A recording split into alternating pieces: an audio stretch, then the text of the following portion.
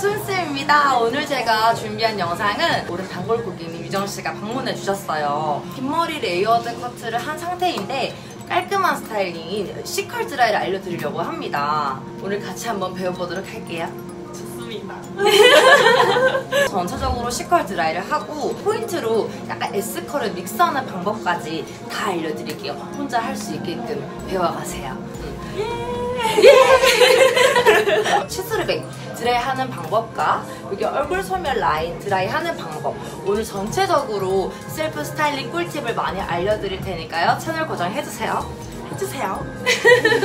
먼저 일단 앞머리를 잘랐기 때문에 어, 똥손이신 분들, 곰손이신 분들은 그루프를 사용하시는 게 굉장히 편하실 거예요. 앞머리 섹션은 삼각형을 잡, 작게 이렇게 잡으신 상태에서 각도를 살짝 이렇게 들고 이렇게 한번 들고 해야 돼요. 네. 들고 그루프를 안쪽으로 동글동글 감아요. 이렇게. 어. 그루프를 감아 놓으시면은 이제 아침에 메이크업 할 때라든지 드라이 할 때 훨씬 편하다는 거. 층이 있기 때문에 C컬 드라이만 하셔도 layered 느낌이 나오실 거거든요. 깔끔하게 곱슬기를 정리하면서 아랫단은 그냥 이렇게 둥글게 감아주시면 돼요. 모발 손상이 너무 좀 많기 때문에 최대한 머리 열을 많이 주지 않고 이렇게 뜸을 들이면서 시컬을 만들어주는 거예요. 붉게. 똑같이 결 정리를 살짝 해주고 끝을 C컬로 C컬로 드라이를 넣어요. 가장 윗단도 결 정리는 필수 그리고 C컬 매일 웨이브 드라이만 하면 지겨우니까 이렇게 C컬도 하고 다니라고 알려줘요. 이렇게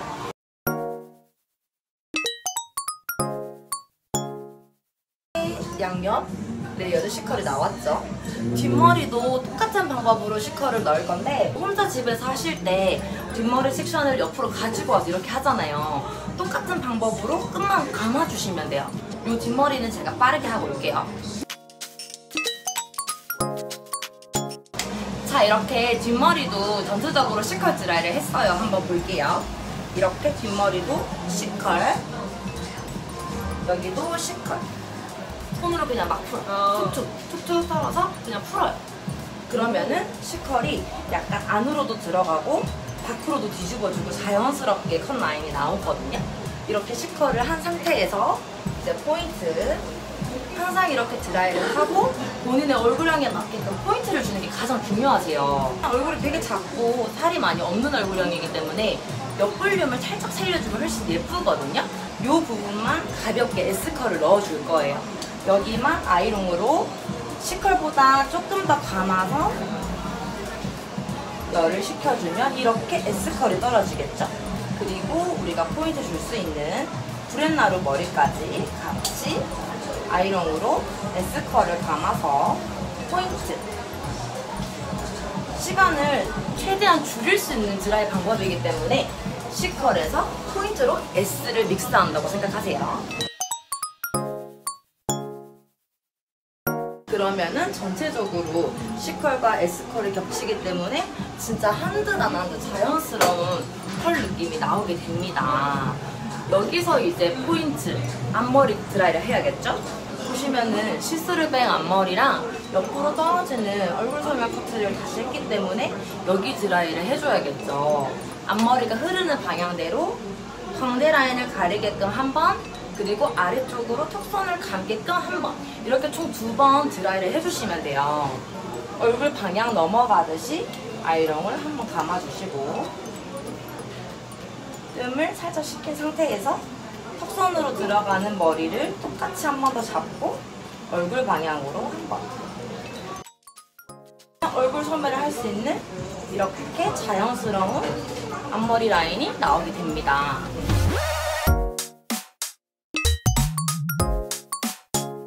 자 여기 상태에서 마지막으로 앞머리 그루프를 풀게요.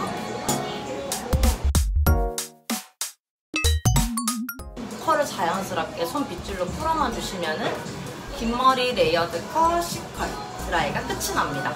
C컬에서 포인트를 준 컬까지. 완성이에요. 정말 간단하죠? 모발이 힘이 없거나 축축 처지는 게 싫다 하시는 분들은 옆쪽에 볼륨을 살짝 넣어주면 훨씬 예뻐요. 광대 옆쪽, 귀 옆선 여기 안쪽 부분에 셀프로 할 수 있는 가장 쉬운 볼륨 살리는 법을 알려드릴게요. 손을 살짝 넣고 안쪽에다 여기다 열을 줄 거거든요. 혼자 하실 때. 응.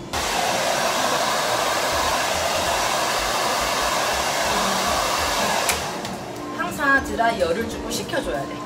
그리고 하나, 둘, 셋. 어. 다르죠? 오 여기가 어, 이거 진짜 꿀팁이에요. 정말 모르시는 분들 많은데 오늘 꿀팁 많이 알려드려요. 그리고 혹시나 뭐 머리를 묶겠다는 날에는 자연스럽게 머리를 툭툭 빗어서 머리 묶고 양 옆쪽은 이렇게 총총총 빼서 자연스러운 라인들을 만들어주고 손으로 이렇게 머리 묶어주시면 끝이에요. 따로 어려운 건 전혀 없어요. 네, 이렇게 지금까지 소연쌤이 알려드린 긴 머리 layered 컷 C컬 드라이가 완성되었습니다. 간단하고 빠르게 할 수 있는 드라이기 때문에 어, 혼자 셀프 스타일링으로 쉽게 따라 하실 수 있을 거예요.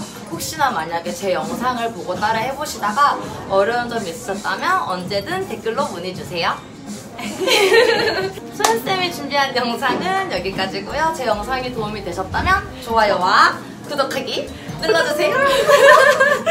부탁드려요. 크게 말해줘. 부탁드려요. 알림 설정도. 아 맞다 맞다 맞다. 안녕.